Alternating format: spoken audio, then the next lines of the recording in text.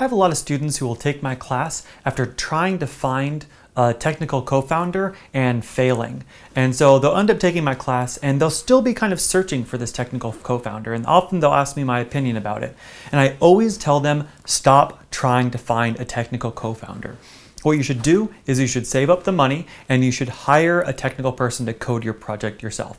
The reason why it's so difficult to find a technical co-founder is because the amount of work and risk that you're going to be taking as the idea person and they're going to be taking as the technical person are so disproportionate. They're not even equal. A lot of idea people think that their idea is worth a lot more than it actually is.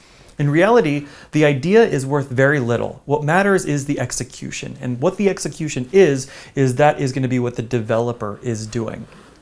If you're an idea person and you have a great idea and you do want to attract a technical co-founder without actually paying somebody to code, what you need to do is you need to go out and you need to not only test your idea, but also start getting customers. If you're able to come up with a service or a product where you can go out, call people, knock on doors, and get people interested and take people's money as a down payment. Then you can go to a developer and say, hey, I've got this number of people interested. I've already taken their money. I just need this product built. While you're building that, I'm going to be able to go out and find more people. And during that time, I'm going to be able to find X number of people.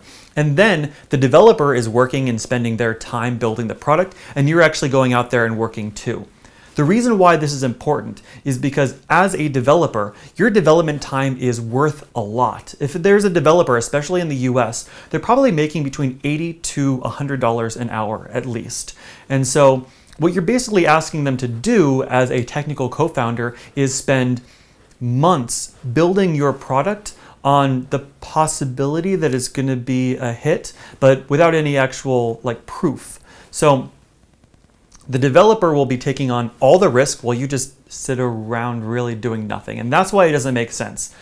But on the other hand, if you're going out and you're finding a bunch of customers and you're taking a bunch of money, there's really no need to give up equity to somebody else. What you can do is take that money from people who want your services and hire a developer and then own all of the equity yourself. That way you have the entire product. So there is very few instances where you'll be want where you're going to want to find a technical co-founder.